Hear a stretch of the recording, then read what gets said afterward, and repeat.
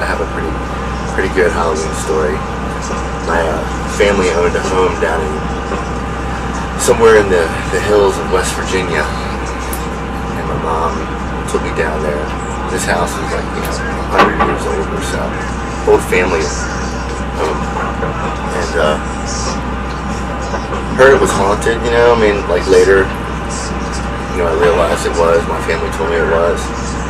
But I remember when I was about five, six years old, they took me down there, and I was laying in bed, and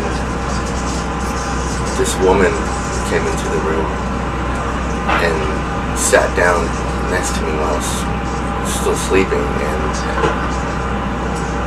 I mean, I, was in and out of consciousness. You know, I was a little kid, but I saw it, right? But I was still thought I was dreaming, and um, I remember this figure, this woman combing my hair with her hands, just stroking my hair like that.